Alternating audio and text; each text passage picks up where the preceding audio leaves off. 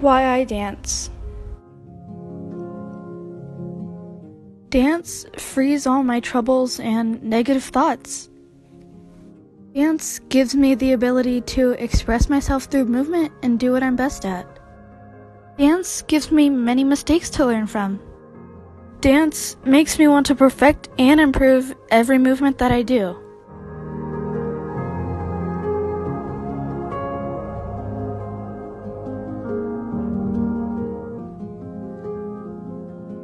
Dance is the light and hope in my life that tells me everything's gonna be okay. When I'm feeling trapped, dance gives me an escape. I like to wear outfits and use props because it conveys a message and helps me express my character.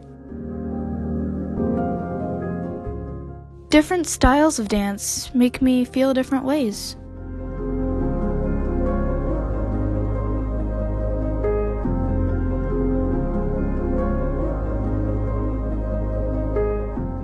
Sometimes I get really discouraged and feel like I should just give up. But I think that's why I love dance so much. It gives me challenges to overcome, and that's why I dance.